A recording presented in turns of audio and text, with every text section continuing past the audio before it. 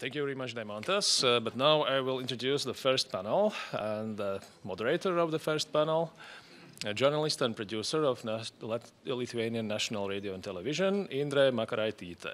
Please.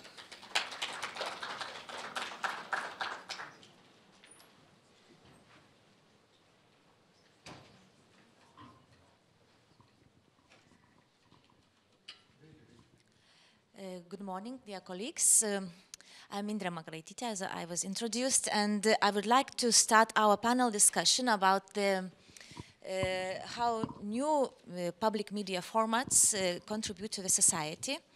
And I'm very glad to introduce um, panelists. One is uh, missing, but with the help of communications and technologies, we will have uh, Mr. Uh, Marc, uh, Marc Josten here. And let me introduce Atte Jaaskelainen, um, professor of practice at um, LU University of Technologies.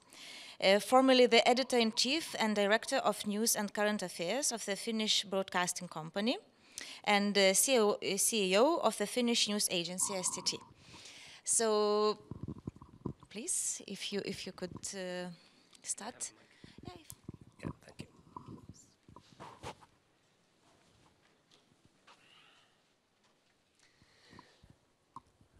Thank you, uh, thank you. I will um, I will tell you a story about a journey I made uh, with a Dutch lady. And because stories are important, I will create a story about this event because I will tell my co-author Maike that even the ambassador came to, to hear our story. Uh, so, so it's an honor, uh, Your Excellency, that you are here as well, and, and that, that will create a great story, very fact-based story, uh, which I will bring back to my, my great colleague. So this is a story about a journey uh, to 24 countries, uh, which we made, mostly virtually by calling people uh, with, uh, with, with a telephone, sometimes interviewing people over Skype or over video, but also uh, meeting them in person, traveling, uh, going to events in which great journalists, producers, or people responsible for projects were trying to make journalism and uh, public service media better.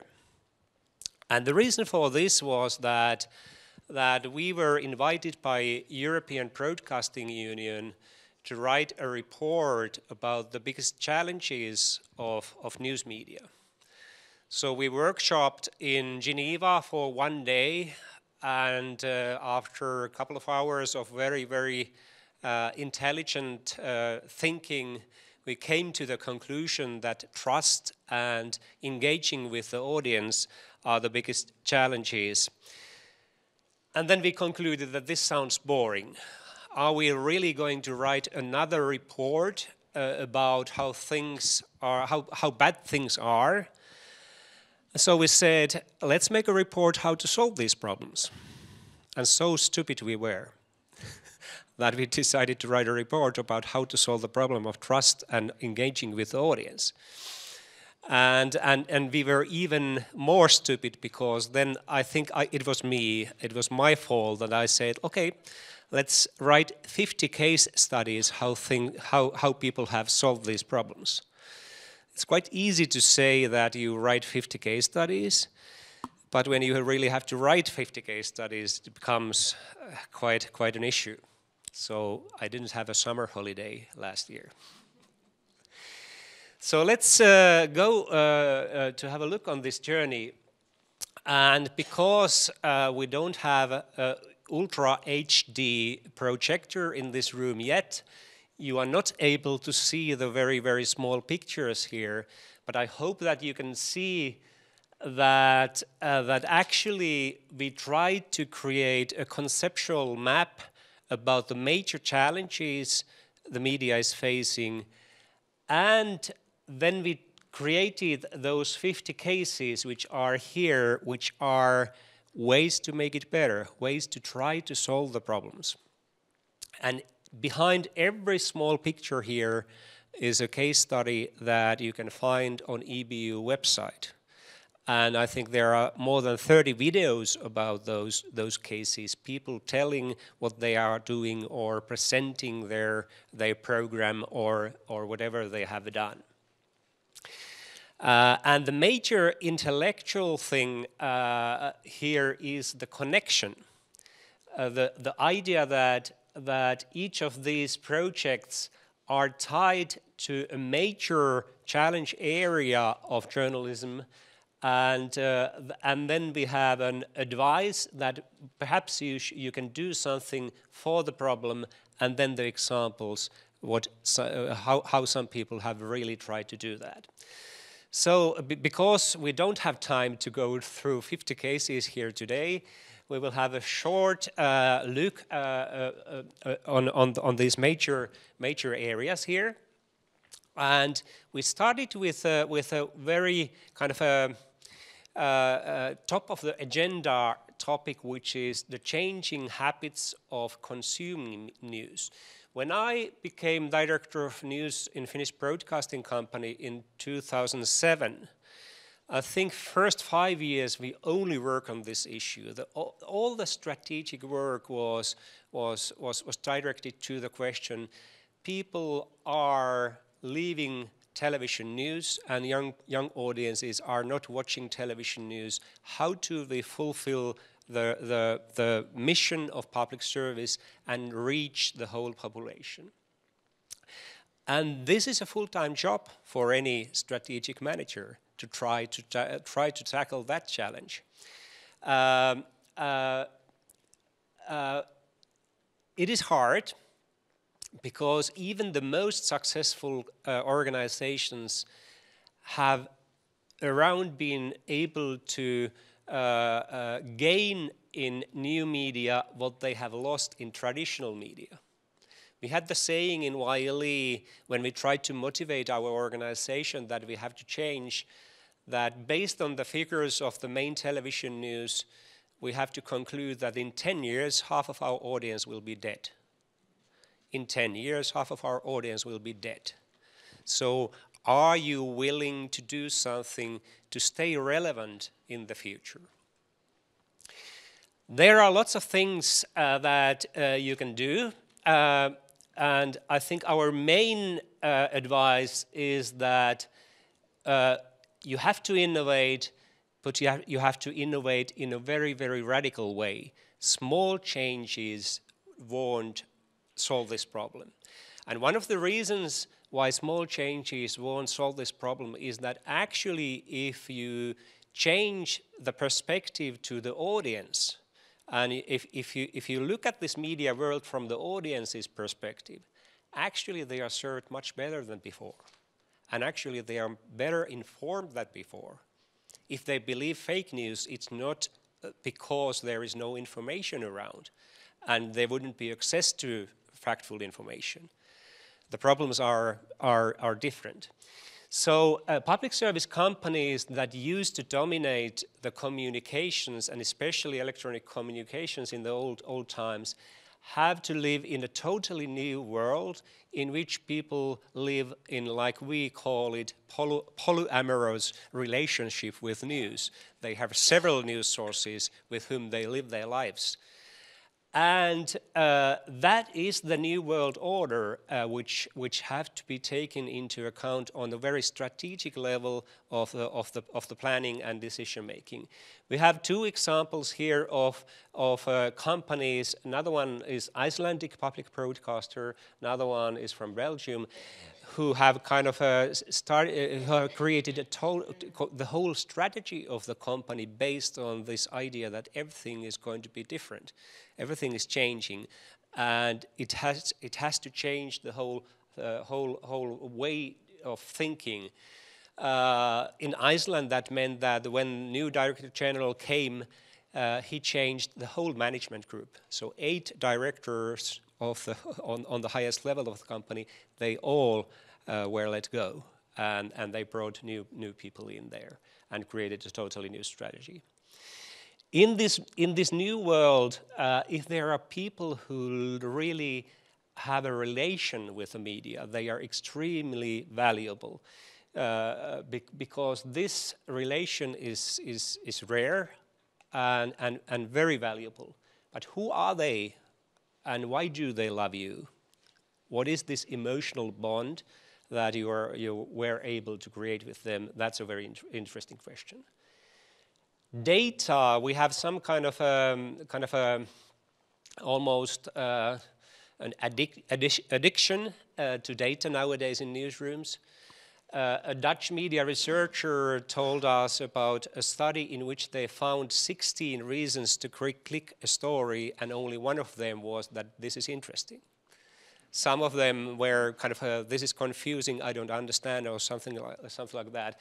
I remember from my time in YLE that the most clicked stories were the police official announcements whose, whose titles didn't uh, kind of explain what this was all about, so you had to click it uh, to, to find out what's going on.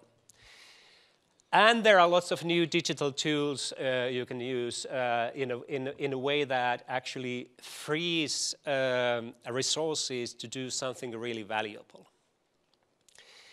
Uh, but the, the, the, the final and the most important conclusion in this, in this journey of ours was that this world, solving this problem is not enough even though this is so difficult and even though this is full-time job for any manager and one of the uh, most difficult industries in the world to lead organizations in this kind of change. But still, this is just one part of the journey which has five major steps. Because the society around is changing in a way that has to be taken into account, and especially that has to be taken into account in the context of public service because the whole concept of public service is based on the idea that there's an agreement uh, between the society and, and, and, and, the institution. And public service is, um, is mission-based, it's not business-based. And if the society is changing and challenging the whole idea of public service, what is the reason behind that and what can you do uh, to, to tackle this challenge. Uh, and we talked quite much uh, with leading academics about this issue.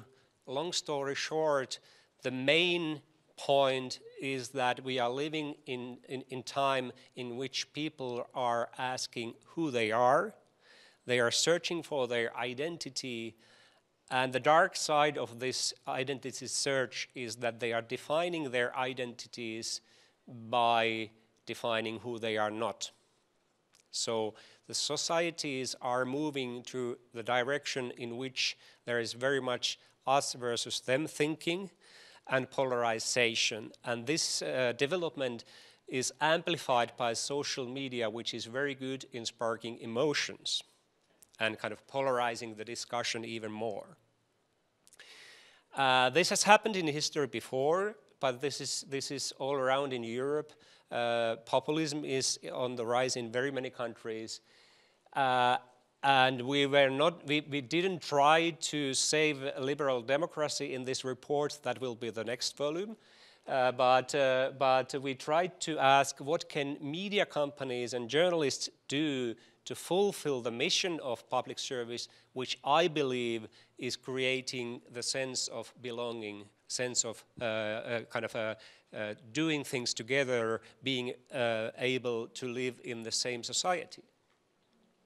You can do something for the discussion, uh, design services which actually incentivize people who have a constructive approach to questions. Norway, for example, NRK there has done something. Many companies are investing a lot of money and time to spend uh, around the countries meeting people face to face and listening to them, what they really, uh, what they really want to get reported, what they think about the companies, the organizations, the journalists, and the journalism. If you can create sense of belonging, if you can create programs and content in which people can be together and share the same experiences. That's part of the, of the, of the mission. And several companies are um, reporting uh, yearly uh, what good they have created for the society. For example, in Austria, uh, that's perhaps the, the, the, best example here.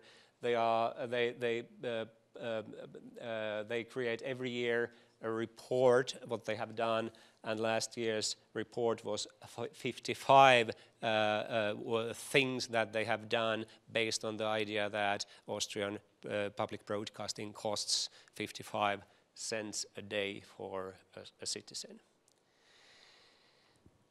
Uh, then we come to a very, very um, delicate area, uh, which is uh, okay, if the society is changing and you have to face those challenges, what about ourselves?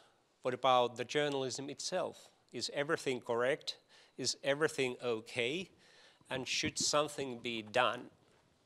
Good news is that we, we, we started, we, we um, st started to search for seven deadly sins of journalism, and, and we only found five. But uh, let's go through, through them shortly. First of first, um, uh, the, the line between fact and opinion is blurry. If we take 40 years back in history, especially in Western tradition, it was very clear that you have to have a distinct, a, a clear line between this is fact and this is my opinion. This is not anymore the case because uh, people are searching for clicks and opinions are gathering more clicks emotions are gathering clicks. So pure facts typically don't wake so much emotions uh, than, than other forms of, of journalism. And it has somehow resulted that this ethical standard has disappeared from ethical codes in very many countries, just silently, without anybody really noticing that. Uh, that fact and opinion should be, should be, should be clearly div uh, divided. Another uh, uh, uh, issue quite widely discussed these days is the negativity of, of, of reporting. And this, the, the problem is not that, um, that we don't say that people should be reporting only on positive things, but I personally believe very much in, in the idea that reporting should be truthful, and truthful means uh, that you paint an honest and true picture of the world. And uh, uh, the late Hans Rosling, Sweden's gift for the world, with his four meter long stick, was a, was a great kind of a, a missionary of, of, of that thinking and I was present a couple of years ago in EBU editors-in-chief meeting in which he did what he did several times in, in front of lots of audiences, uh, asking different questions about uh, the world and the society. And in most cases, he could conclude that the chimpanzees were more clever than the editors-in-chief of public service in Europe because they uh, answer the questions randomly.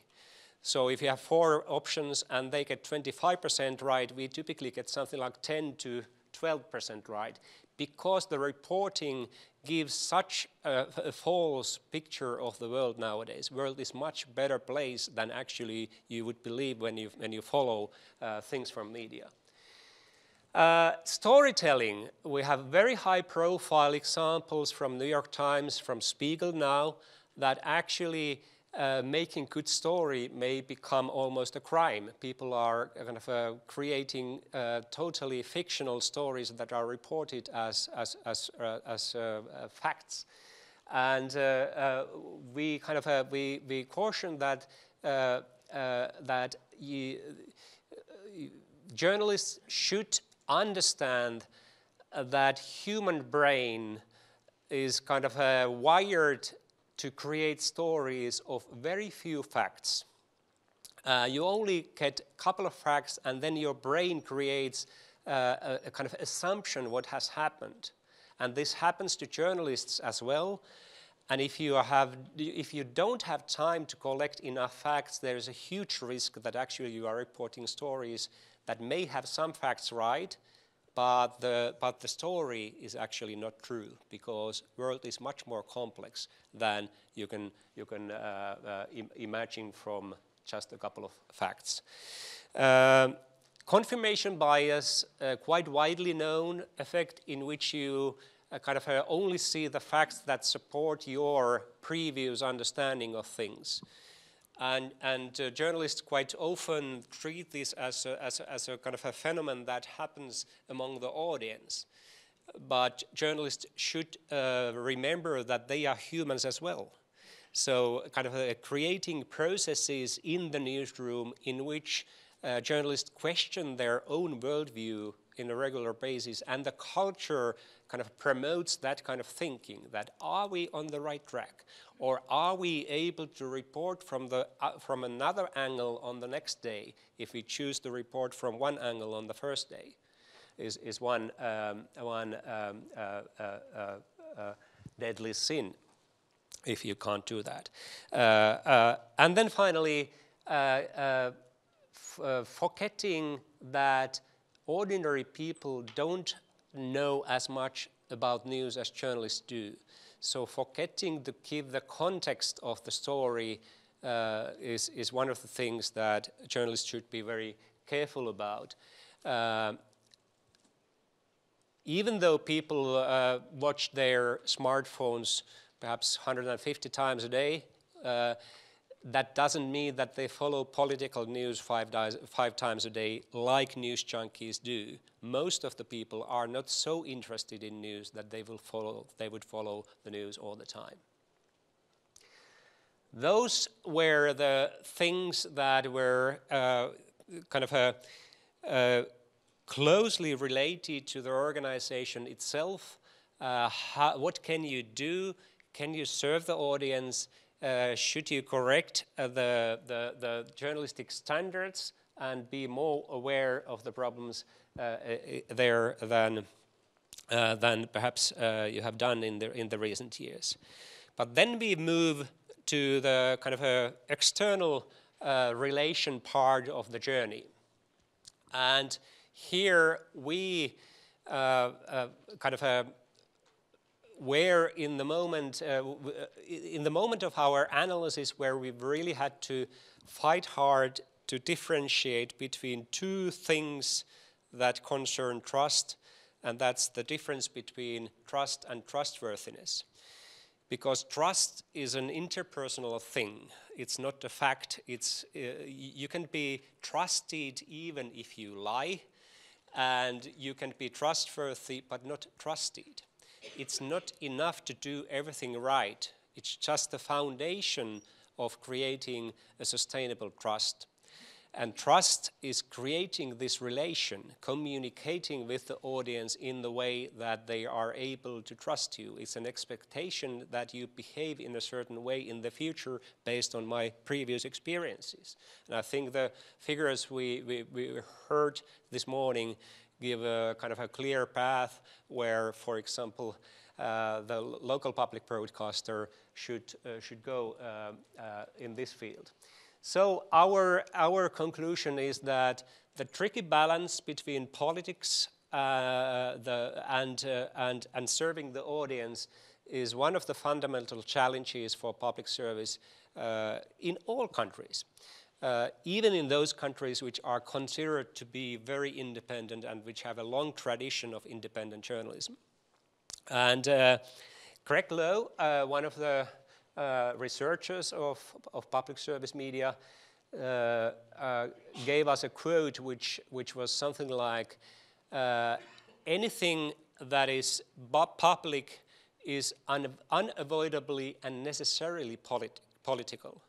The only question is how do you, uh, how do you create a relation that is healthy and doesn't erode trust? Public service company which is not connected to politics is not possible because public service company is a political institution and it's part of the society uh, and, and, and therefore there has to be a relation to the politics. It's a, it's a political decision to have a public service company. And we don't know uh, all European political systems so that we could give advice how to solve this problem. But uh, the, the clear answer is that the better uh, connection the companies have with audience. Uh, that's kind of an insurance against unhealthy political uh, influence. So, um, what to do? Uh, do things that serve the whole society, keep distance if you can from politics. Uh, and then there's this question of diversity, and diversity is connected to a feature which can be rephrased as unwillingness to be represented. People who don't see themselves in the world they, they, uh, that is reported don't feel that actually those people are worth my trust. So diversity in very many senses is a way of creating this relation which, uh, uh, with which people can, can give their trust, give, their, give the mandate to be represented. And this is much more than just gender issue or a race issue, ethnic issue. It's also a question of sensitivity to things that are important and kind of a sacred for some parts of the audience. And it's a skill how to report in the way that diversity is fulfilled. And finally, uh, uh, there is this question that even if everything is, is okay, there are people who want to destroy certain institutions. There are, uh, uh, there are kind of a, uh, different uh, reasons why this happens. Some people are just crazy. Some people uh, amuse, are amused of, of doing, creating disorder. And then there's a political incentive of challenging institutions because uh, among the public there is uh, thinking that elites are abusing their power and public service companies and media as a whole, traditional media as a whole, is actually part of the elite, even though uh, very many journalists think that actually they identify themselves as criticizers of the elite but the audience actually uh, connects their, uh, them to the, to the elite. So there are lots of different uh, uh things uh, you, can, you can do, but our, uh, our main message is that you have to balance between being transparent and facing the criticism. This is a picture about the editor-in-chief of Tagesschau, perhaps the most influential European television news program in Germany he sits in a live television broadcast taking phone calls mostly from uh, um, uh, uh, a, a, AFD uh, supporters criticizing heavily their, their um, uh, programming and, and, content and, and decisions. Uh, and most people are totally surprised that they are let in in this program, in this live program, which anybody can, can follow. But don't feel the fire. See that this is not the whole society. And one of the main reasons why extremism has gained is that traditional media has become hysterical about that and reported and echoed and make it made, made it much more uh, uh, uh, powerful than, than it actually, actually originally was. And we report how Swedish SVT is doing there. Media literature, literacy is, is important. Creating alliances, if you can, with other institutions that share the same values, even uh, public service and private media who support the same journalistic values should work together with, uh, to support them. We have an interesting case from Denmark in which we started to create a story about how media companies and universities together on an island of Fyn in Denmark uh, were promoting young people to vote. And the manager said, oh, yeah, uh, yeah, this was the program. But actually, that, that was not what we were doing. The original idea was to show those guys in Copenhagen that they are stupid and media shouldn't be hitting, their, hitting each other. And we, on this island, we get along quite well. We know each other. We, we, we, we will show the people in the capital that we can work together. And actually, it became a story about that. And communicate journalistic practices. It's a mistake to believe that people understand what journalism is and even fewer people understand what public service is and what, is, is, what are its values. So this is, the, this is the map, this is the journey, Uh, if you are interested on, in those cases, uh, they, they, they, can be found on EBU website. I this morning heard that uh, three of these cases have been an inspiration in, in, uh, in, in, the, in, in, in the local company and have heard very many stories about uh, how these cases have become inspirational in different companies. I'm even surprised how much uh, that has happened. Let's look two examples uh, on, on video and hope that. Quel est selon vous le pourcentage d'immigrés dans la population, population française example how to promote ouais. factual uh, understanding of things. 20%. 40. 40%. 10% 10%, vous diriez Vous diriez quoi vous? 5. 5% Ouais. 70. 70% d'immigrés. Ouais. Je dirais 40%. En France, on a autour de, de 9 à 11% d'immigrés. What?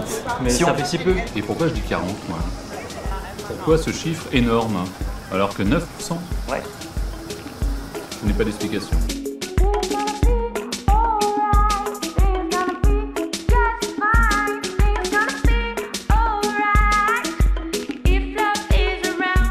Alors c'est quoi le vrai pourcentage d'immigrés dans la population française? C'est ça, c'est entre 9 et 11%, et encore j'inclus euh, l'immigration illégale. Et les Français, eux, en moyenne, pensent que c'est 18%. Donc on surestime beaucoup le nombre d'immigrés en France. À votre avis, Ouais, Parce pourquoi qu'on est à Paris peut-être. À Paris peut-être qu'il y a plus de diversité, plus d'immigration que. Ouais, c'est possible, c'est sûr. Je sais pas Ouais, qu'en c'est sûr. région.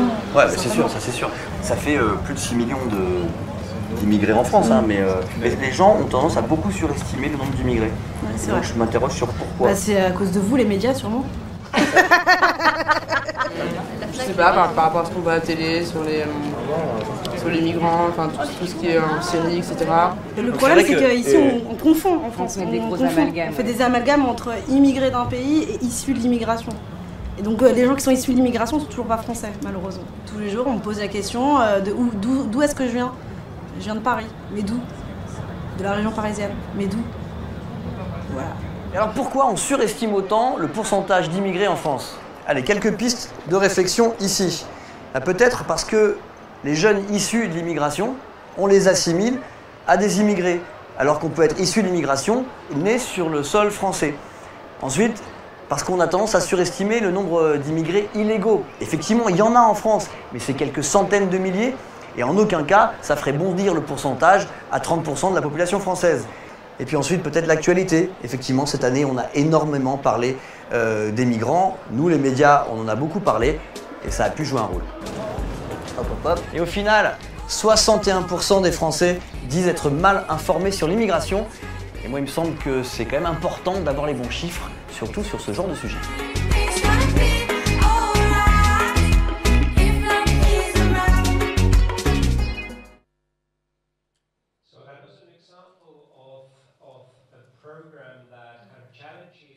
Journalism itself, but does it in a way that doesn't kind of um, uh, send the message from Ivory, to- uh, uh, uh, Ivory Tower that we are right, you are wrong, and this is the this is the truth.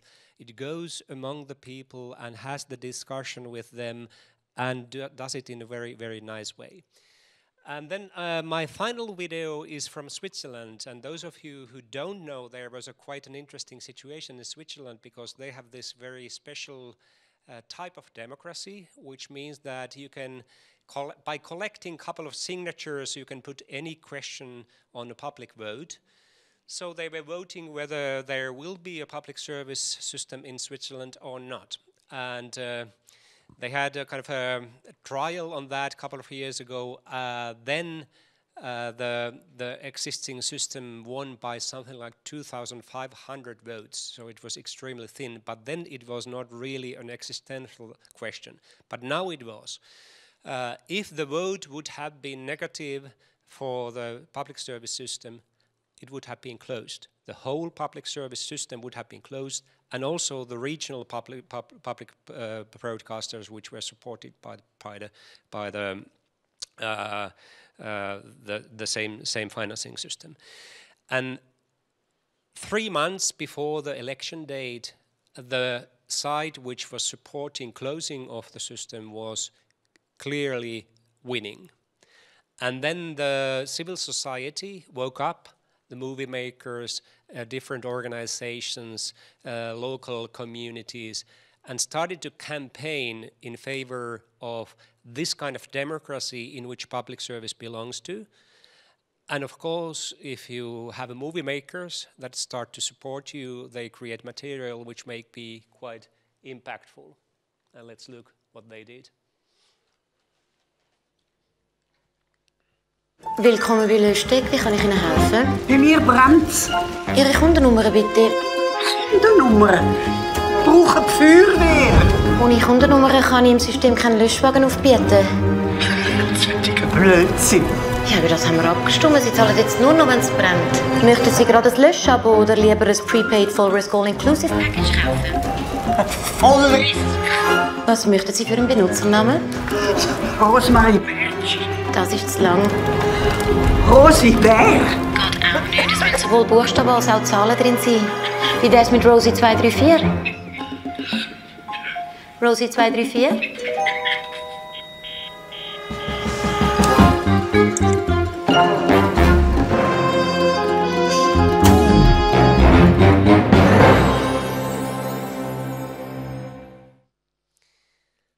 Finally, 72% voted in favor of public, uh, public broadcasting in Switzerland, but that doesn't mean that everything stays the same. That was really a wake-up call in Switzerland, and they really have to recreate their relation with the audience.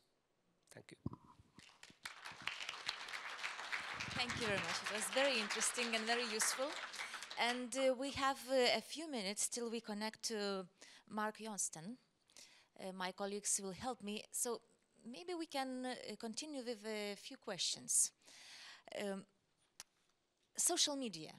You haven't noticed anything about uh, and about social media. What is the impact to the public broadcasters and to the uh, possibility to talk to the audience, uh, then social media is much more popular some, some, sometimes than, than public broadcasters.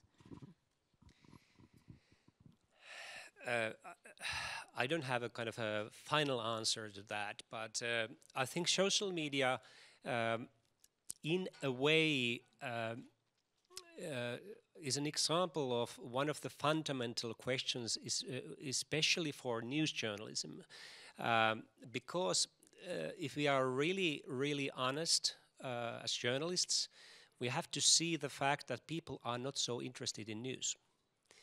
Uh, that's that's not talked in the newsrooms. That's not kind of acknowledged. But the reality is that about half of the audience is following news only because that's a habit, and 20% have stopped following news completely because they don't kind of uh, feel that they need it. And if we if we look at the history of media, the actually democracy has benefited quite strongly about the fact that even people who are not so interested in societal issues have passively consumed news when they were watching the main television channel and waiting for the drama or sport to, to, to come there. Or they were they, they they had a habit of sitting on the sofa and watching the news without really wanting to be so informed but they just became informed and while television has kind of distributed to, to thematic channels, radio, you have lots of radio channels, you have so much choice. If news uh, consumption is based only on your own choices, actually a very, very small uh, uh proportion of the population will be very, very well informed and then the less educated, less in, less interested people are not in, informed at all. And what has happened is that Facebook is now doing the same thing as a general television channel did in the old days. It's mixing uh, addictive, very interesting, relevant information. hope so, uh, from your uh, uh, uh, connections or friends, and some news in, in, in, there as well. So I, I, I think um, um, uh, uh, that, that, that, that's a that's a strategic issue. Uh, I don't have the final answer, but I would say that the public service companies should be there, but not not be kind of a, rely only on social media. Use social media as a way to create a relation with the, with the audience, but do something much more valuable in your own services. Thank you. And here I see, hello? Hello, how are you? Nice to see you Uh, here. How are you? Can you hear me? yes, perfectly. Okay, thank you. Good morning. Good morning. So uh, everybody sees you, so um, I, I would like to introduce Marc Josten, Editor-in-Chief and Deputy Director of Humanist Radio and Television Broadcaster Human, which apart from the other things produce investigative TV documentary series Media Logica. Uh, in the field of attention, attention, there are lying politicians, lobbyists, but also journalists who seek to become popular with the public and thus uh, lose uh, in the truthfulness. So, could you please uh, tell us more about Media Logica and what are your findings in this project? So, ex excuse me, I, I can't hear you very well, but can you hear me very well? Yes, we can hear you very well. Right, I, I, I thought I heard something you wanted to know more about our uh, formula Media Logica, and um, to reflect a little bit on that, it's um, I will tell you about this series. It's more or less a case study that corresponds very, very well with the conversations of the former speakers I heard. Um, the director of the Finnish television and uh, also uh, uh, my Dutch ambassador. Um, because this series, it's all about resilience of the public service media. How to react, how to stay strong in a field which is overwhelmed by social media and all kinds of media that have different standards than we have when it comes to um, um, let's say when it comes to facts when it comes to inter, in, interpretations of facts and um, finally, and I, I, I, have a small presentation to, to, to show you. Um, uh, I want to tell you fake news and um, all kinds of misinterpretation of the news is very old. It's as old as uh, uh, as the Romans, the, the times of Cicero, Julius Caesar. It's as old as the uh, First World War when uh, the famous American writer Walter Lippmann wrote about all the fake, fake news then. But now we're facing an explosion. And I think that's mainly caused by the rise of social media, but also by other factors.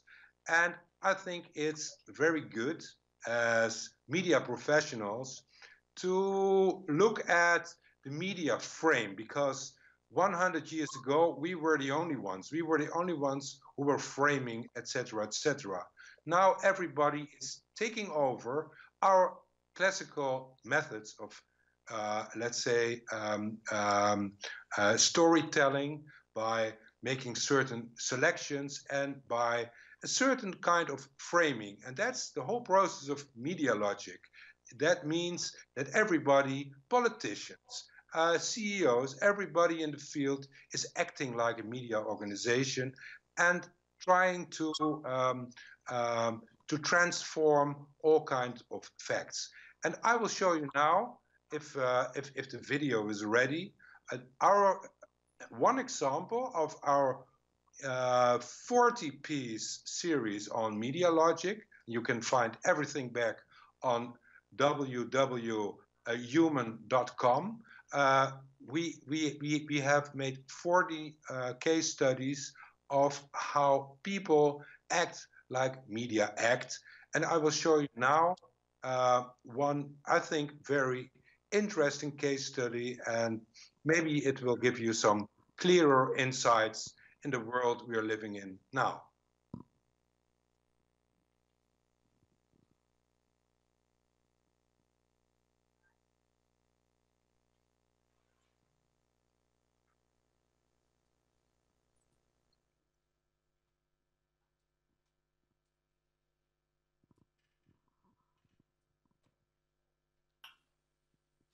Hello, everybody. My name is Marc Josten.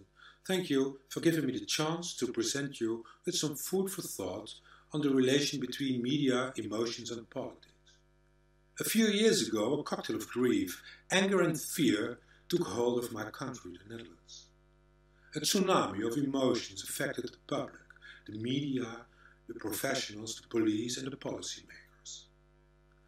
Our professional motto says, show don't tell, so let me show you.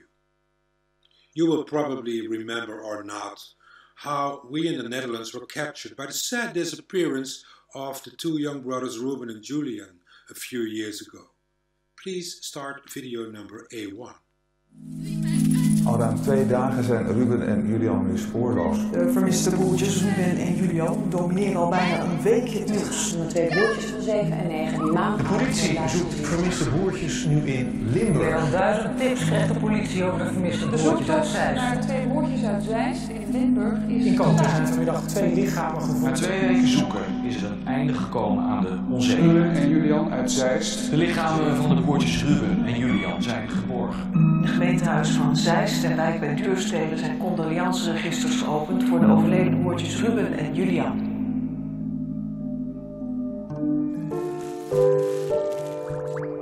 Medialogica. Over wat er gebeurt als Nederland in de ban raakt van vermissing.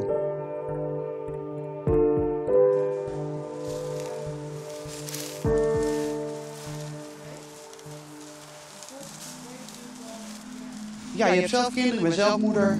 Toen ik het voorstelde aan mijn dochter, zei ze gelijk van ik ga ook helpen zoeken, man, die kinderen moeten gevonden worden. Op 7 mei 2013 wordt de vader van Ruben en Julian van der Schuit doodgevonden in natuurgebied het Doornse Gat. Vader en moeder zijn gescheiden en hebben een problematische relatie in de omgang met de kinderen. Pa had zelfmoord gepleegd en de twee broertjes waren niet vindbaar. En ik denk dat dat heel, de trigger was voor heel veel mensen om, om aandacht van wat is hier gebeurd. En dat maakte de zaak volgens mij uniek. Moeder Iris van der Schuit plaatst een oproep op Facebook. Alsjeblieft, wil iedereen uitkijken naar mijn kleine mannetjes. Ze worden sinds gisterochtend vermist.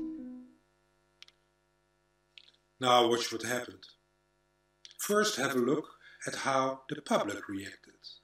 How did people cope with their emotions? Please start video A2. Na de Facebook-oproep van Wanda van de Bovenkamp ontstonden massale burgerzoektochten.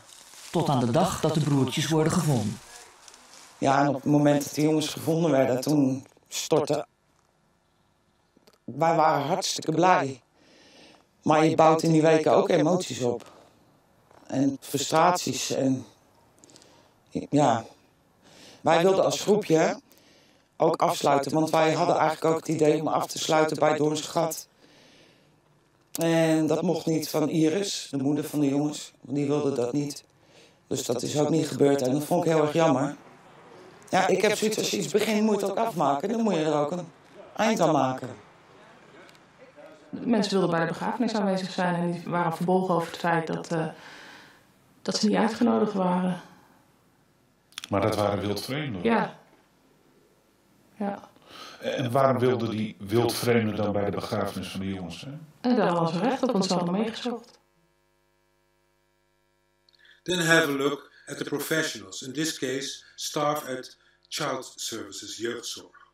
Please start video A3. Nee, dat mag ik niet zeggen. Nadat er in de media een discussie is ontstaan over de rol van de inspectie jeugdzorg in de strijd tussen vader en moeder, publiceert jeugdzorg een rapport op de website, waarin allerlei uiterst gevoelige privé-informatie van het gezin staat beschreven. Het rapport van jeugdzorg wordt ook uitgedeeld aan journalisten. Wat dacht je toen je dat rapport zag? dat er erg veel naar buiten werd gebracht eh, van informatie die zij normaal gesproken niet naar buiten brengen. Nou, in hoofdstuk 2 staan gewoon letterlijk citaten en artsenbezoeken beschreven. En zoveel informatie over eh, mij, mijn kinderen, ook over Jeroen. Dat gaat niemand wat aan. Dat zijn gewoon hele persoonlijke stukken. Hebben jullie gevraagd aan jeugdzorg wat nou de reden is om zo expliciet te zijn over jouw privésituatie?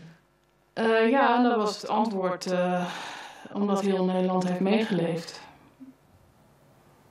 Moet dit openbaar worden. And now watch how the police behave. And please start video A4. Twee maanden na de moord op de broertjes wordt de familie van der Schuit benaderd door SBS. Dat wil een eerbetoon maken aan Ruben en Julian en vraagt Iris om daaraan mee te werken. Iris zegt resoluut nee. Dit verzoek kwam in een voor jullie gevoelige periode, want waar waren jullie op dat moment mee bezig? Uh, de, we zouden de onderzoeksresultaten krijgen, de doodsoorzaak zouden wij uh, die week te horen krijgen. SBS schrijft dat de politie meewerkt aan de documentaire na overleg met de familie. Dat was volgens SBS essentieel voor de politie. Is er overleg geweest over die documentaire? Nee. Jullie? SBS wil niet met ons spreken. We vragen ze om fragmenten uit de documentaire. SBS weigert. Omdat het niet mag van de politie. Zo was al afgesproken. SBS haalt de documentaire na ons verzoek van de website. Dit zijn enkele gedeeltes uit die documentaire. Goedenavond en welkom terug bij Hart van Nederland. Een zaak die ons land twee weken lang in zijn greep houdt. Ik heb de documentaire ook uh, twee weken geleden pas voor het eerst gezien. En uh, dat is zeker geen eerbetoon aan Ruben en Julian. Nee, absoluut niet. Het is een eerbetoon aan het werk van de politie. In de documentaire is onder andere een van de familieregisseurs te zien, die moeder Iris vanaf het begin van de vermissing heeft bijgestaan. Die eerste week zaten we daar twee keer per dag. Hebben we de afspraak gemaakt dat we veel persoonlijk contact zouden hebben. Dat was ook de, het verzoek van, van Iris. Was er wat jou betreft sprake van een, een, een, een vertrouwensrelatie? Ja, want ze komen echt als je op je diep zit bij jou thuis. Uh, zit er naast je op de bank. En dus ja, er moet wel een vertrouwen zijn eigenlijk. Zij maken alles mee? Ja. Zij maken ook al jouw emoties mee? Ja. Het handelen van, van de emoties van, van, van, van Iris, van de moeder, van de familie. Uh, ja, dat had zo'n impact uh, op ons en op mij. Dat liep heel erg uh, stroef. Wat vind je er dan van dat die familieregisseur in die SBS-documentaire zit? Dat heb ik heel erg gevonden. Ja, ik, voelde, ik, ik heb het letterlijk genoemd van ik voel me echt naakt staan hier. And finally, have a look at how the policymakers at the Ministry of Defense decided to react. And please start video A5. Bij de zoektocht naar Ruben en Julian zijn ook militairen ingezet. Die hebben ook in het donker doorgezocht. Ik weet wel dat de politie op een gegeven moment naar me toe kwam en zei: Ja, we stoppen het zoeken nu. Zei, waarom? Ja, want het is te donker. En op een gegeven moment zie je dan: Oké, ze zijn uh, toch weer aan het zoeken. Gelukkig. Dus ja, dat gaf mij wel weer hoop. In onze research vinden we een scriptie waarin een hoofdofficier van Defensie wordt geïnterviewd. De hoofdofficier zegt: Er is s'nachts gezocht door de druk van de media. Dat zou anders niet gebeurd zijn. S'nachts kun je niet fatsoenlijk zoeken. De media zat in de nek. Dat ging op ministersniveau. Er moest gezocht worden. Het maakte eigenlijk niet uit of er wat gevonden werd. We hadden misschien zelf wel sporen kapot kunnen maken. Shall I try to explain what happened here? Well, let's make an assessment. There was first an awful murder case. And among the public, there was a huge appetite for all sorts of information. And also for engagement. People were affected by this sad, sad case. And the media, they fed this appetite with hardly any restraint. The authorities, responsible for Dutch youth care, jeugdzorg, also took part in feeding the appetite, showing no respect for the privacy of the victims in this process. The same applies for the police. They try to show their engagement without any regard for the victim's privacy. And the Dutch Department of Defense even went as far as organizing a fake search for the boys, which carried the risk of clearing important traces, just to give the impression that at least something was being done. To cut a long story short. In the Netherlands, all kinds of parties, from police to public, from media to politics, felt they needed to show their emotional engagement. Media are often criticized for framing news and for amplifying emotions, often negative emotions such as anger or distrust. But this example shows that framing and positioning are not unique to media at all. Politicians, policymakers, CEOs, they all are taking part in this game, up to the point that they are no longer truthful. To me, that is a very important issue. I don't want to imply that emotion should be forbidden in the public policy. Aristotle, the great Greek philosopher, fully agreed on using emotions in politics. But he said we should only be allowed to do so on one condition that we speak truthfully. This was clearly not the case here. Which brings me to the case and the role of the social media. Are they to blame for this? Well, I think that's partly the case. Social media are causing a multiplier effect. You can see old media, our media, reacting to what happens on social media, claiming their part of the story. We have always had high waves of emotions, but now with the social media, they are turning into tsunamis. Also because social media cause acceleration. People feel they have to react immediately, and first reactions are often emotional. But social media are means. They mediate. In the end, it's all about our own behavior. Let's go back to our documentary on the two boys. How did people react? Well, I have to say they react bewildered. You've got a lot of mailers and callers who shared their experiences with the institutions mentioned in our documentary. A famous Dutch journalist wrote immediately after our broadcast that this documentary revealed so much about the way officials manage emotions nowadays, it was, no kidding, worth a parliamentary inquiry. And many people ask me, Marc, do you think that institutions in future will think twice about their role Uh, and their re responsibility? And I really, I would love to say yes, but I'm afraid I have to say no. With the subject Media Logic, I'm on a never-ending tour through my country, through Europe, giving lectures and discussing the issues with the public, with professionals like the police, like childcare, like the army. And my general impression after all these meetings is that, sorry I have to say it, of a collective state of denial. Policymakers are often more focused on marketing and media crisis management than on solving the real underlying problems. I could be wrong, but if I'm not, this is more the politics of an ostrich than that of Aristotle. And let me draw a conclusion. The, area, the era of social media will not be over soon, so the multiplier effect will go on, the multiplier effect of media logic. It will certainly not stop.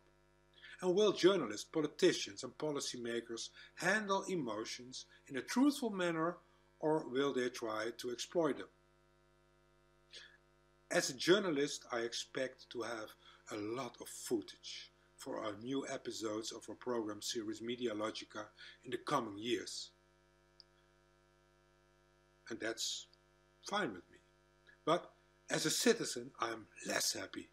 This is a worrying development. So I hope policymakers and politicians will find proper and especially truthful answers soon. And I hope we journalists will be truthful too. And if you want to learn more on this issue, please check www.human.nl. Thank you for your attention.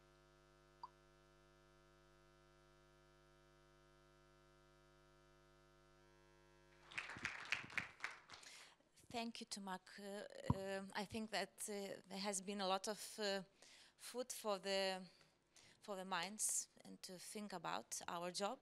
And uh, as we are running out of time before the lunch, I will try to be very quick uh, with my presentation about the investigative team, Alerte uh, LRT team.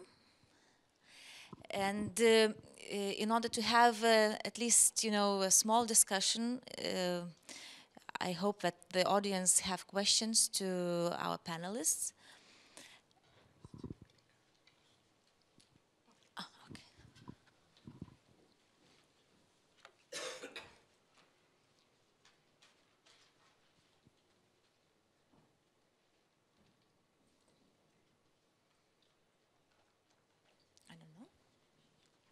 Could anyone help me?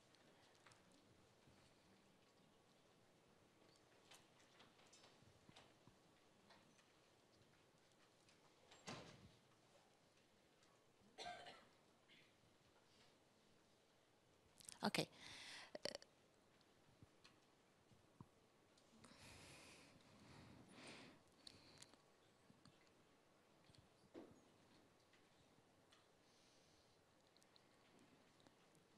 Yeah, thank you. Maybe we can we can finish here.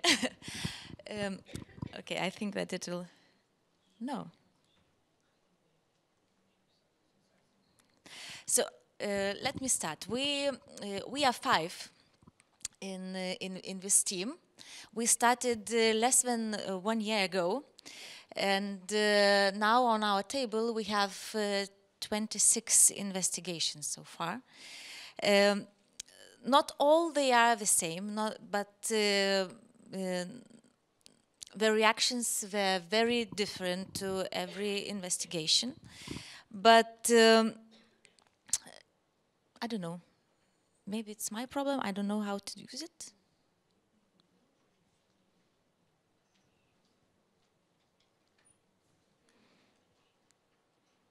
Could help me anyone how to use this thing?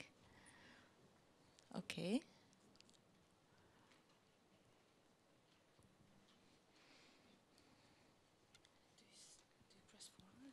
Yeah. Is it the right slide? Yes. Do you want the next one? Yes. Okay. It doesn't work. No, uh, you put each thing. You put a separate thing. Yes. So just press one. Okay. So we started from the uh, back in, in, in, in September, we started from the very politically sensitive uh, issue to our prime minister. Uh, we um, analyzed the infrastructure project, uh, a special bridge over the uh, territory, which is uh, every spring. Every spring uh, has floods, and uh, we proved that uh, this infrastructure project uh, was pushed despite uh, intransparent procedures. And uh, by the way, actually, uh, when the prime minister joined the presidential campaign, actually everything what we investigated was proved to be true. Uh, also, we, out of these 26 uh, investigations, we also analyzed food sector. Uh, we analyzed uh, uh, railway sector, uh, our railways, also our the leader of the ruling party's business ties with companies and sanctions of EU and the United States. Also, we wrote about uh, lies of uh, Revolut, that uh, fintech, co- fintech company, which is uh, actually we found out that the father of the of the head of the company is the employee of uh, Gazprom, and uh, we found out uh, that he, the the head of the company lied about his father. Also, we wrote about the uh, how political parties co-opt uh, uh, their members. It's sometimes really not very in a very legal ways. Our attention, we, we draw our attention to uh, to political leader of of Kaunas, to mayor of Kaunas, how um, how he actually favors his business uh, business interests in in Kaunas despite the investigation. when Mr. Matijošaitis won the elections. And what is the coverage? Actually, uh, I see my uh, lots of colleagues of, of mine here in, in, in the audience, but to those who doesn't know, uh, actually the whole day when we publish our investigation is about that investigation. So at 7 uh, a.m., the main article appears on uh, our main website. At 7.15, uh, the author of the investigation, investigation is, is on the radio live. At 7, first uh, piece in the TV news appears, uh, a short version. Uh, also, we share our investigation on Facebook. And uh, uh, still, we have partners in other web, on other websites, on other uh, internet portals, news portals. And actually, I would say that with, the, we have a very wide coverage because we use all free platforms we have on uh, in LRT. And uh, also with the help of the colleagues, we have uh, that informational coverage in other media uh, institutions. So it's like uh, uh, if the topic is is good, if we really find something very special, our colleagues are very helpful and we make lots of resonance. And by the end of the day, uh, actually all the last news editions on the radio, on uh, website and, and, television, we have all the reactions and follow-ups. So actually we can tell in the end of the day if uh, we did something that, with that investigation. And what are the reactions? I would, uh, I have to tell that uh, the reactions are very different to every every research, to every investigation. But uh, we have already uh, decisions in all levels. And uh, most uh, often we have uh, very quick decisions made the same day uh, at the ministerial level, at the governmental level. we also can say that we reach that resonance in the society, that people talk about what we found. Um, we have political discussions. And what uh, we are not happy about, but this is the reality, and I will uh, elaborate a little bit more about on that, is that uh, we get lots of complaints to the regulatory institutions. And uh, uh, the last our investigation about the sea, situation in the seaport is probably the best example of how uh, those unhappy people and those who were found out as uh, not very truthful and not very um, sincere can react to the investigation and to, to, to can react to, to our job. We published four investigations about uh, uh the director of the former director already of the seaport, the first uh, investigation came out that uh, because uh, the seaport director decided to go into the elections to run for the mayor of Klaipeda, and he was supported by the port companies. Uh, he chose to go into the elections uh, under the flag of the ruling party, and the uh, businessmen and uh, big business of the seaport uh, supported uh, donated uh, to, to that political party, not directly to Mr. Vaitkus, but to the political party. And we found out that actually um, the director was not uh, always uh, impartisan to the to the port companies.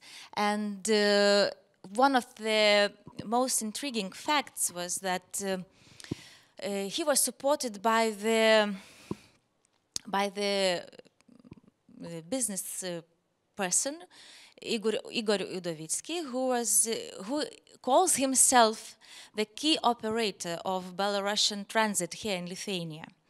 So he's, uh, he himself is a, a, citizen of Lithuania, but uh, his he has the company, biggest company in the port, seaport, and he he is the main competitor to Lithuanian Railway Company.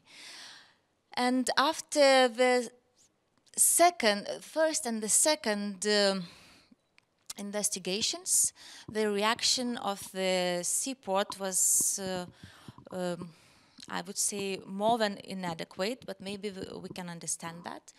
And now we, I think that we count probably, I even lost the numbers of the complaints we uh, got uh, because of due to these investigations to the regulatory institutions, to the inspector of uh, journalists, and to the ethical commission. I think we got already 15 or 16 from uh, different uh, people, from every businessman, from every company of the seaport, uh, from the political movement who ran, uh, who uh, who participated in the elections, and from the port itself. And also we can uh, we can say that in the website of the seaport, we got a special special position uh, they published every question, We published every answer, uh, all articles, they published all complaints, and they put that in on the in the center of their website website in order somehow you know to show that uh, we are not right and they are right. And uh, the outcome of this uh, of this situation and the feedback, the main feedback was that uh, after the elections, uh, Mr. Vaitkus, he didn't win uh, the mayor position of Klaipeda, but uh, he refused to resign from the position of the port of the of of uh, of Klaipeda, and the minister did. Uh, this, he decided that uh, cannot con cannot continue as a port director, and now this thing uh, was removed, but uh, there was a big political fight over Vaitkus, and the minister uh, publicly said that uh, it can cost, his decision uh, can cost him uh, post of the minister. And still, yesterday appeared, one article appeared, kind of discussion that if, for example, our prime minister wins the presidential elections, Mr. Vaitkus can be can become the prime minister of Lithuania because he has support of the ruling party. So uh, I, I, I, should say that um, our investigations about the seaport, about Vaitkus and all these findings, they led uh, to the, I think, I think to the open even war between the ruling party and the leader of the ruling party and uh, not the investigation team, but the LRT itself. And um,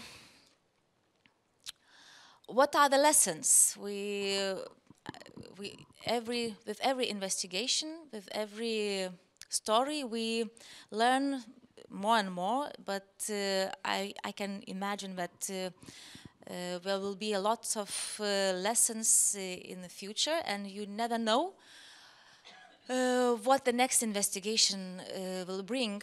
And uh, one of the most things is that uh, uh, is that uh, you have to know that even even you, for example, ask questions or raise questions and, and, send them to the institution, you never know if they are not they will not be leaked before your investigation appears. And it happened to us, I think, three times already. And even now it's happening because uh, the railway, uh, Lithuanian railways, uh, they know that we are um, uh, conducting, conducting investigation and they, uh, yesterday and today, they, they keep uh, publishing press releases about how good they are and it, they in intensified their activities very, very much. But uh, despite the fact, we have to check and check and check every piece of uh, information, every number.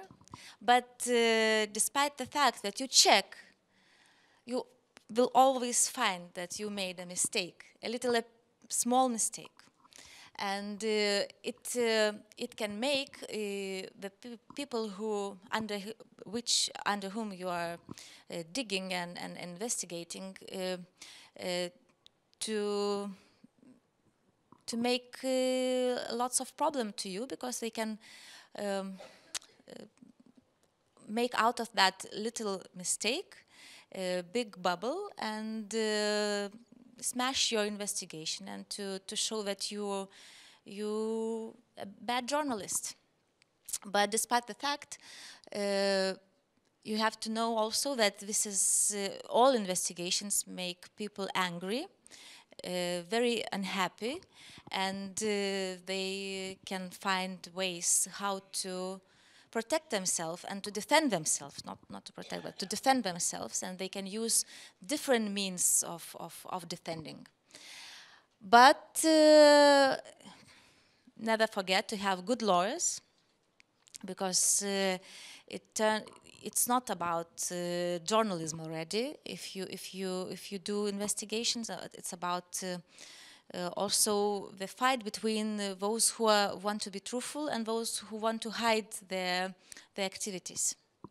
But uh, as I said, as I, as I always say to my, to my team and to my colleagues, that never give up because uh, that's what we have to do. We are journalists. And uh, I think that was the last slide. Thank you. And we still have a, a, few minutes. So maybe after these perfect presentations, uh, there are questions in the audience, uh, and we could uh, talk a little bit more about uh, what we saw about these uh, videos and um, and to discuss. So please. Okay. Could you please introduce yourself? Yes, good afternoon. Aurelia Ieva from National Electronic Mass Media Council of Latvia. I would express um, deep gratitude for forum organizers and um, uh, presenters for your presentations. Um, my comment and question is regarding the EBU uh, report. I have to say that also in Latvia we have identified these the very core issues regarding how to build trust and how to be society oriented, how to be more um, um, uh, mission oriented. And you also mentioned that we have to uh, re-evaluate our world views and how to make this connection um, we also have done some research and, and look forward for uh, solutions.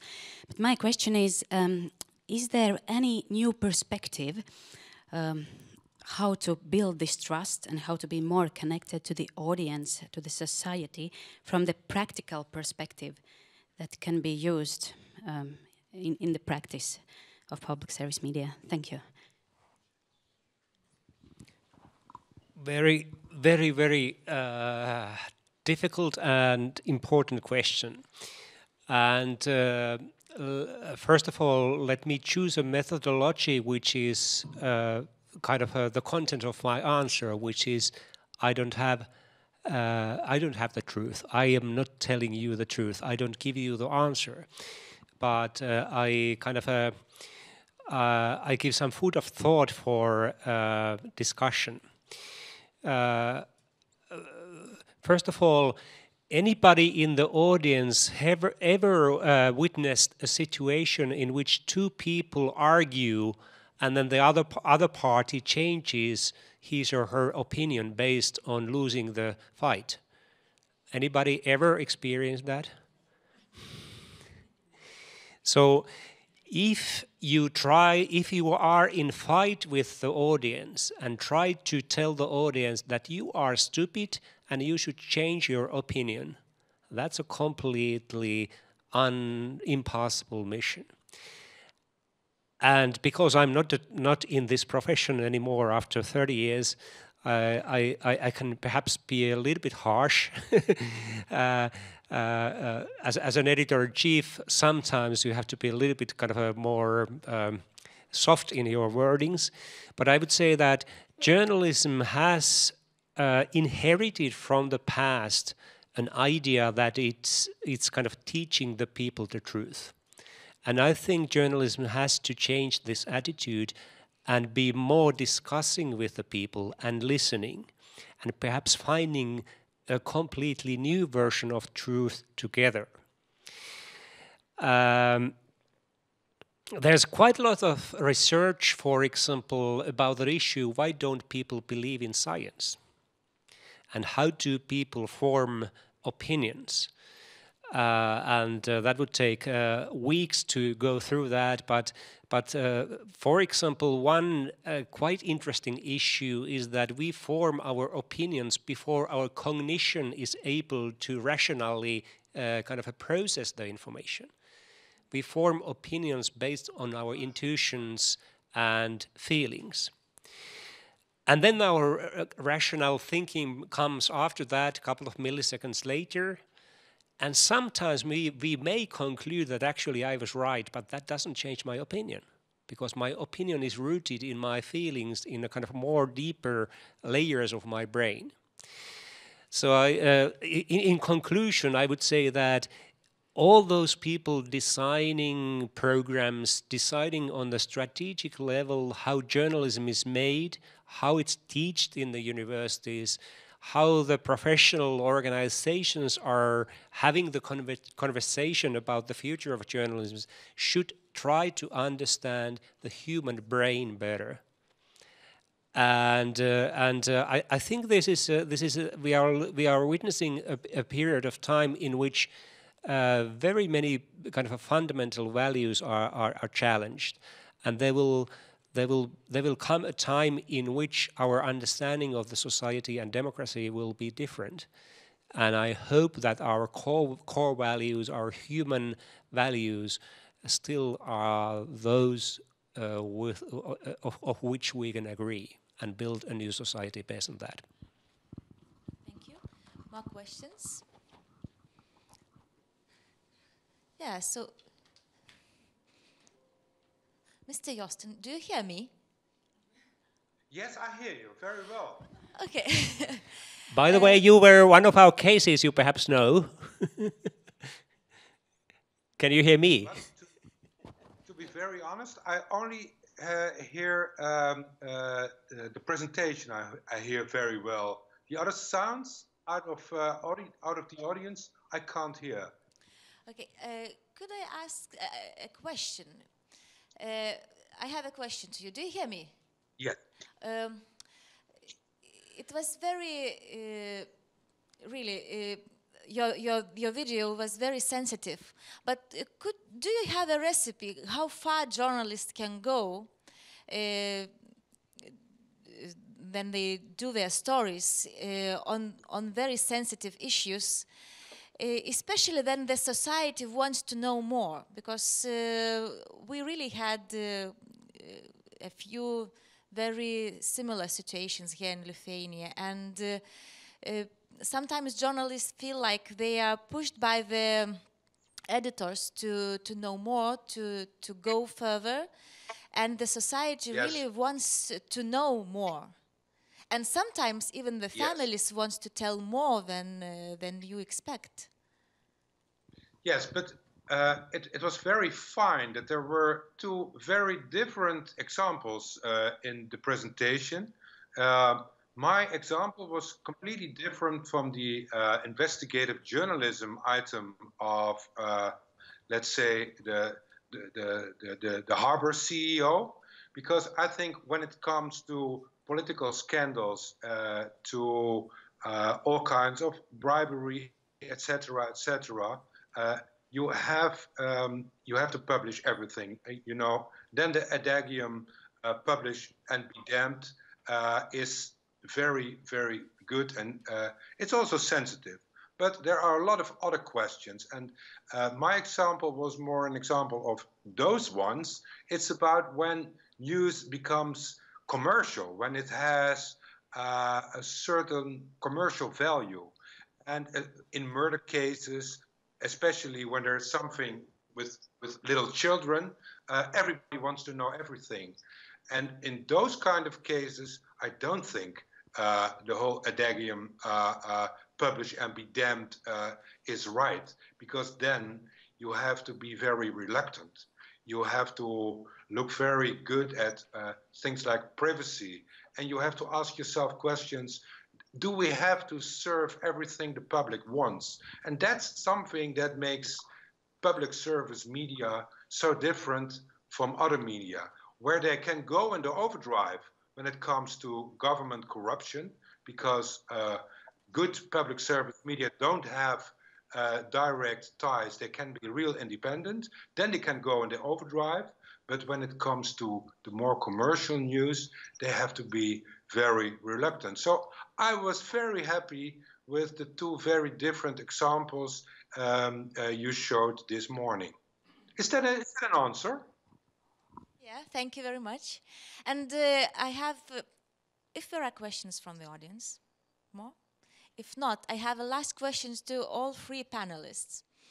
Uh, you probably heard that people usually, some groups in the society, they are not happy with the public uh, media, public broadcaster, and they say, you know, you do not serve uh, our interests, but you must do that, that, and that because, you know, either we pay it directly to you or you, you know, it's, you, you survive on uh, or live on taxpayers' money.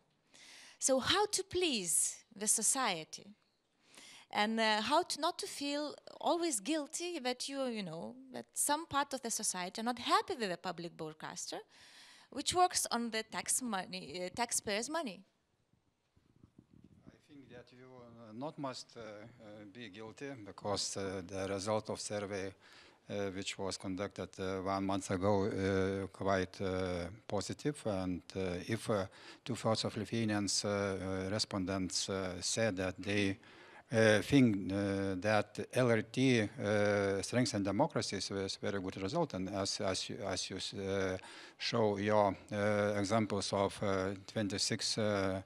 uh, 26 research investigations, it is, I think there is correlation and this is your argument for society and for audience.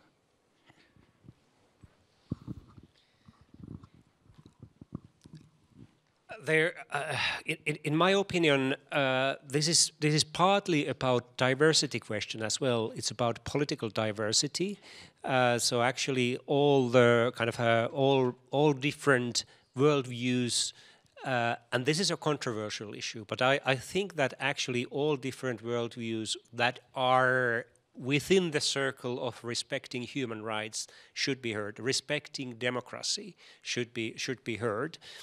Uh, and then comes the question, in your case, especially, you are a state-owned, uh, in, in, in this country, state-owned public service company, is that uh, according to research, uh, the state ownership actually increases trust in media in countries where there are two things.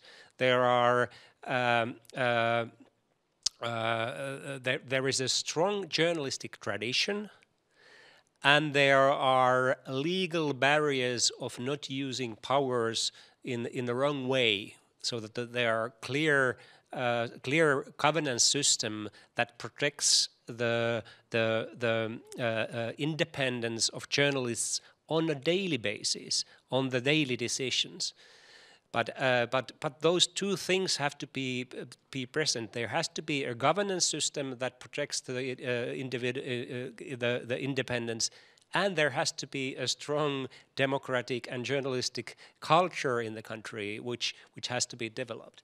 So the state ownership itself is not the problem. So I, I think in this field, uh, the, the, the, solutions lie. In the short term, you can't please everybody, but in the long term, you have to show that you had good intentions. At least. Thank you. And uh, Marc? Heard, I heard the question too, but I, I, didn't hear the, the answers of my colleagues on the table. But uh, the question was, what do I do to with with people um, who who pay taxes for public service media, and who don't feel attached. Um, well, um, it's a subtle kind of answer I will give you. First, I try to do my utmost to get in contact with those people by organizing programs, by organizing a meeting publics and doing more or less the question time formula of BBC, going into contact with people who hate you.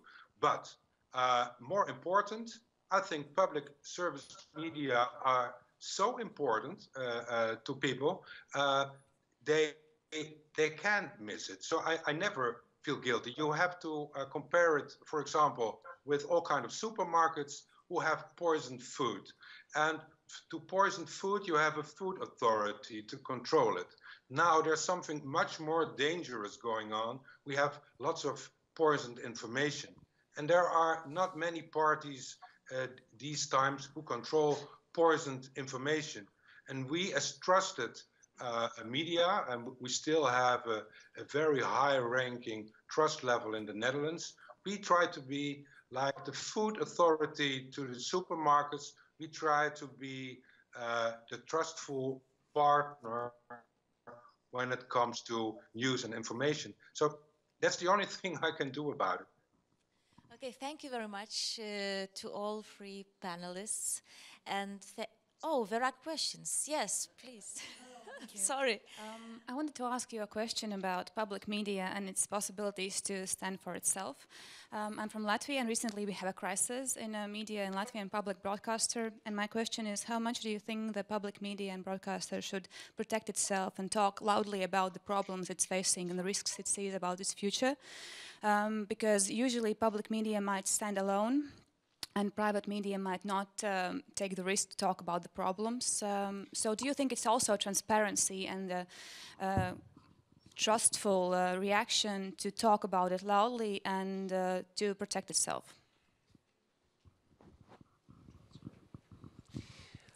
Yes, I do think that public public service media should uh, actually facilitate discussion about itself because if that's only left for outside parties, private media, other institutions, then actually it's it's it's not balanced. Uh, and if you think that it's it's a problem and it's a kind of biased forum for that, I think uh, in the end it's the less, least biased if you do it correctly. Because the good thing in in uh, in doing uh, broadcast media or audiovisual media is that if you do it, for example, live, then everybody can see what happens. Uh, and the stupidest, stupidest, stupidest thing is to is to promote yourself because everybody can see through that, and actually it hits you back. so so there's a kind of self-correction cor correcting mechanism. But uh, but uh, uh well, uh, I, I, my experiences are mostly from Finland, which is considered to be one of the strongest countries of public service and, and the, one of the most independent ones. Uh, God, the private media was hitting us hard.